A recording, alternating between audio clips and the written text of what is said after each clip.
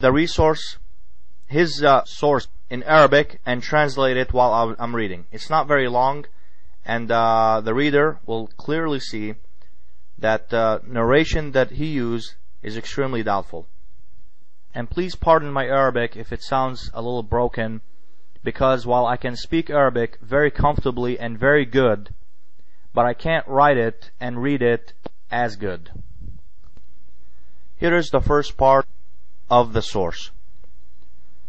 ليس من هدي المسلمين على مر القرون أن يلجأن إلى استعمال هذه الوسائل الغير شرعية والتي وفدت إلى بلادنا من الأفلام الخلاعية التي يرسلها الكفار وأعداء الإسلام أما من جهة مفاخذة رسول الله صلى الله عليه وسلم لخطيبته عائشة فقد كانت في سن السادسة من عمرها ولا يستطيع أن يجامعها لصغر سنها.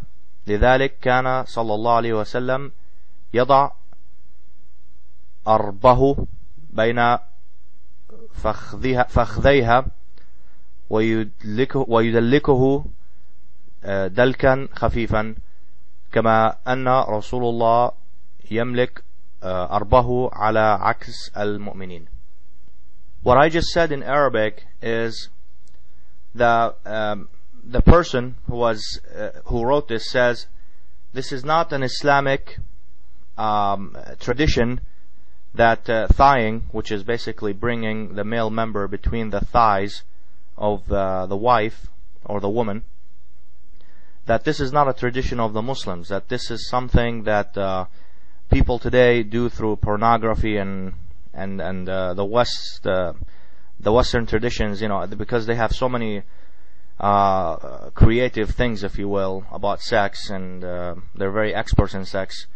Um, they basically, you know, this is one of their uh, the things that they do. But however, he also says that the Prophet, peace be upon him, did practice this in the past with one of his wives. Her name is Aisha, and that the Prophet has the most control on his male member uh, than any of uh, the Muslim men. That's what the guy who wrote this said. Now the second part of this uh, message boarders uh, post refutes this, or it doesn't refute it. It just says that while it's been uh, uh, confirmed that the Prophet peace be upon him married Aisha at the age of uh, nine years old, but there's no clear-cut evidence that there's no uh, authentic resources that say that he did thigh his wife.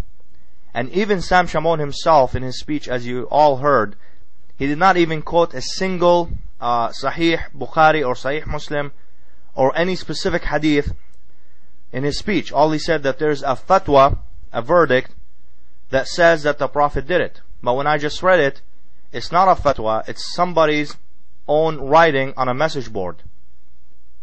Here is what the second part says.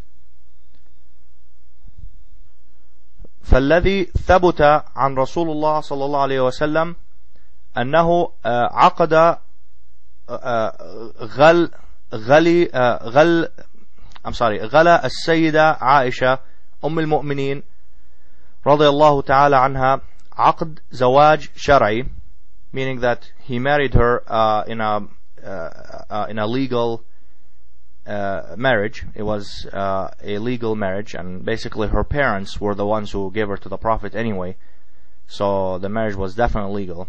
Uh, but the guy is saying here that the marriage that the Prophet peace be upon him married Aisha in was definitely was definitely legal. في مكة المكرمة in Mecca قبل الهجرة that's uh, before migration وهي في السابعة من عمرها while she was seven years old ودخل بها في المدينة المنورة بعد الهجرة وهي بنت تسع سنين and he consummated or came upon her uh, in marriage uh, after the migration when she was nine years old. So basically, he married her uh, when she was seven. She was given to him in marriage when, when she when she was seven by her parents, and um, when he consummated the marriage, it was not she was nine years old. وربما وقع ذلك منه معها. It is possible. The guy is saying here, it's possible that um, the Prophet did thigh Aisha بعد العقد الشرعي عليها after he officially married her. I believe he's referring to when she was seven, not nine. وصي وصيرورتها زوج له. In other words, when she became uh, his wife. أما قبل العقد فمستحيل ذلك.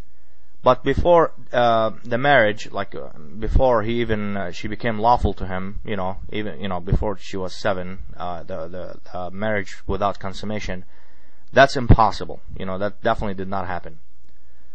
وعلى من يدعي ذلك من يدعي الخلاف إثباته and those who dispute they must uh, prove it. So basically what we see here that this is a message board somebody posted a, a post saying that he heard that the Prophet, peace be upon him, uh, thied his wife Aisha when she was seven, or between seven and nine years old. Okay? And the response was that the, you know, it is confirmed that the Prophet married Aisha at seven and consummated his marriage to her at nine. But there is no evidence, we do not know whether he fight her or not. And even, as I said, Shamoun's own speech, in his own speech, he did not give a specific narration to it. All he said that there's a fatwa, a verdict, that says this, which makes his points absurd at best in the scholar's world because you do not use dubious and doubtful resources. It's not even a resource, it's a message board to make a claim like this. This clearly proves that Sam Shamoun is unethical, is dishonest, and is a big liar, or at least he would resort to lying when he has to. And by the way, the responder to the questioner on the message board, it says here, Dr. Ahmad Al-Hajji Al-Kurdi. So, he's a doctor. The, the person who responded to the questioner seems to be a PhD, and uh, his name again is Ahmad Al-Hajji Al-Kurdi. So, but anyway, regardless whether the the the questioner was a Christian or a Muslim, and whether the responder was a doctor or not, the source itself, the, the page on the internet itself, the resource that Shamoun used is dubious and absurd at best because it has no Islamic references either on either post. Both posts did not give any reference. And most definitely and most certainly the first post, the guy who posed the question, did not give Islamic resources either. He said that there is a fatwa regarding this, but we don't know whether this is true or not. Now, for the sake of argument, I am going to go ahead and assume that uh, absurd fatwa, or so-called fatwa, that if this is not some made-up lies by a Christian who asked the question, but Regardless, I'm going to assume that this is correct and I will still refute it for him. As we've seen already, folks, and brothers and sisters in Islam, during the biblical days, there were no real standards on sex. Moses and his men raped girls who were as young as three, and they were ordered by God in the Bible, according to the Bible, I do not believe this, this is true, but according to the Bible, they were ordered to kill all non-virgin girls and all the